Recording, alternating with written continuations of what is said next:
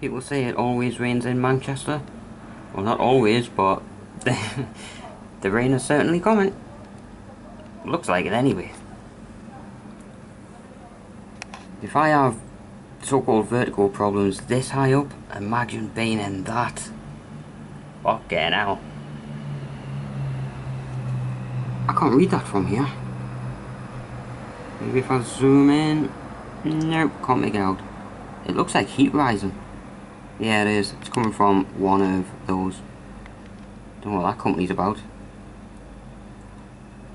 Weatherite. Ah, I'll just be like an extraction fan or something sort of company, I guess. I'll be going out and about soon enough.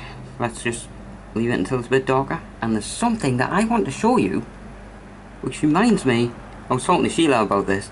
Sheila Anastasia Samuels, or at least Sheila Samuels. I thought it was raining down there actually. No, just getting darker here. There's something that I really want to show you, like I was talking to Sheila about, about the lifts here. It really reminds me of the Poltergeist 3 movie. Where Carol Anne, played by Heather O'Rourke, rest in peace. I always say that every time I mention Heather O'Rourke. Heather O'Rourke. She died too soon, really. Please don't mention that this is Manchester in the comments and that's where Chloe and Liam from my sort of area passed away. That was tragic. The Ariana Grande, how do you pronounce it?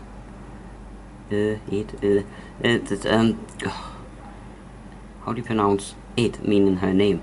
Ariana Grande? I'm not a fan. I believe she has some good, she has some good catchy tunes. Oh, after travelling, I'm, I'm just exhausted. So, yeah, Manchester Sky.